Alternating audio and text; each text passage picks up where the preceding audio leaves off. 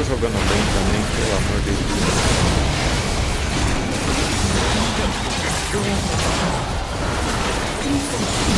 Tem que pagar o quadro do dia, né, velho? Não tem como.